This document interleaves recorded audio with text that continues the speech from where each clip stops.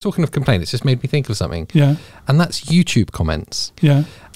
Uh, obviously, if you're watching this, you'll know we have a YouTube channel. Yeah. If you're listening to it, we've got a YouTube channel. Yeah.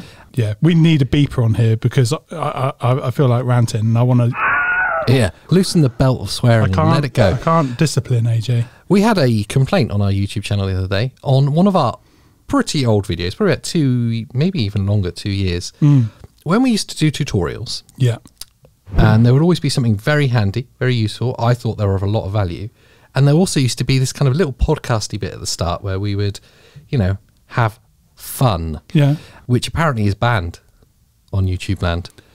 Yeah. Uh, but It's also- not, it's not very cool. No, it's having cool. fun, no. Fun is not good. Um, the person complained, Right. funnily enough, fun, Yeah. in a pinned comment that I'd put on the video with the timestamp where it says tutorial starts at 1 minute 12 seconds. Yeah. So if you don't like fun, just click that and it'll take you to that point in the video. Watch the tutorial. Straight to it. Yeah, Handy. yeah.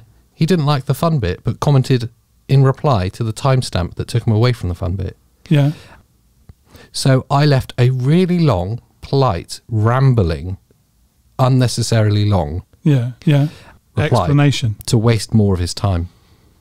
Because clearly time's important That's to him. good. Yeah. So I thought, yeah. Here, well, read this. Yeah, how read all this is unnecessarily Yeah. long. Yeah. So, And did yeah. you say at some point in the multiple paragraphs, and all of all of this text here, and the following bit of text, Mm. and if you keep reading the text beyond that, Yeah, yeah, keep going. Yeah, yeah, yeah. is purely to waste your time. I didn't. But I did say, Oh, oh, so look, I've wasted loads of your time. That would have been good. Such fun.